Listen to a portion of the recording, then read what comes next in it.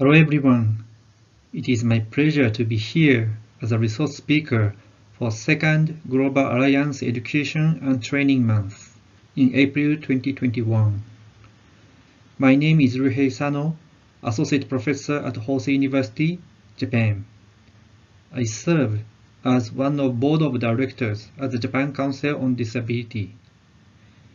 I'd like to make a presentation titled Disability no one must be left behind.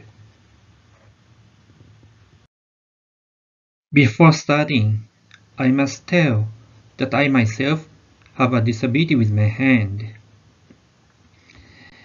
It is happy for me to talk about what's really disability from my own perspective as well. First, I'd like to refer to two international instruments on disability, which are available nowadays in the world.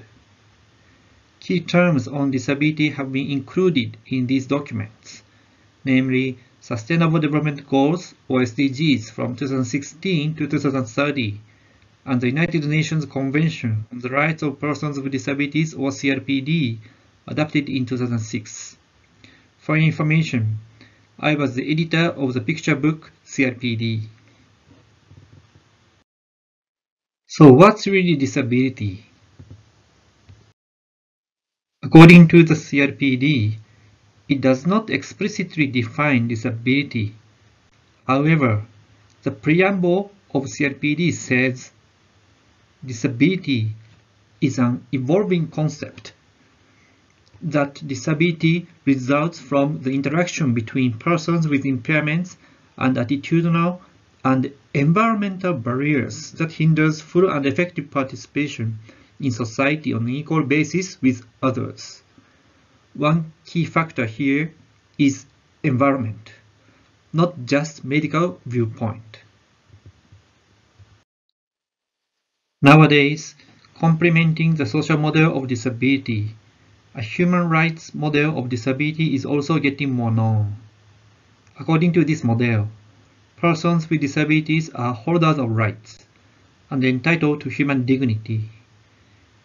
In this sense, impairments are to be considered as aspects of human diversity.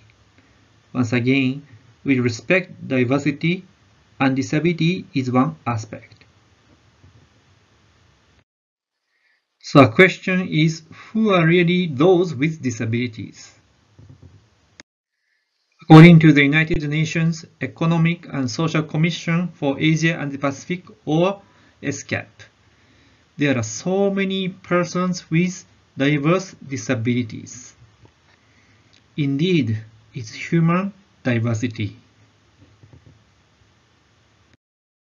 Then, how many persons are with disabilities in the world? According to the World Report on Disability by WHO in 2011, 15% of the total population in the world is persons with disabilities. Let's say if we have 8 billion people in the world, it is about 1.2 billion persons who are with diverse disabilities. It is about 10 times of the population size of Japan as we have about 120 million people. But in practice, the number of persons with disabilities is up to each country, region, or area, as the definition of disability is different. As you see in Asia and the Pacific, in New Zealand, the disability prevalence is 24%, while it is 1.1% in Brunei Darussalam. As it is requested by my colleagues at ASEAN Public Relations Network, I'd like to highlight disability from the perspective of public relations. One important concept to understand disability is reasonable accommodation. According to the CRPD, it means necessary and appropriate modification and adjustments to let persons with disabilities enjoy their human rights. In short, differences should be well respected while reasonable accommodation is provided wherever needed, whenever needed. The CRPD clearly says that denial of reasonable accommodation is to be considered as discrimination.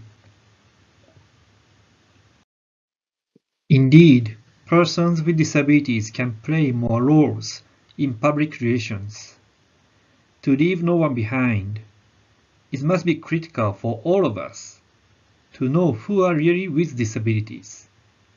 By the way, I respect the blind comedian, deaf YouTuber, and artist with developmental disorder, since they have great talents in terms of public relations. Disability as one viewpoint in diversity and public relations.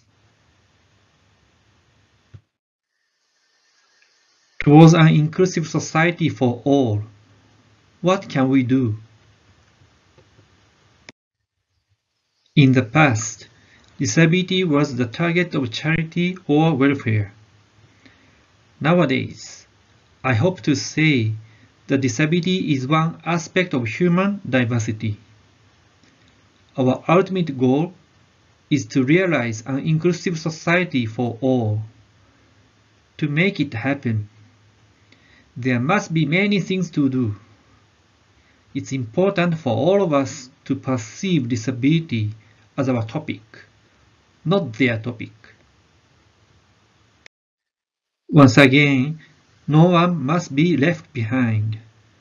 Thank you very much for your attention.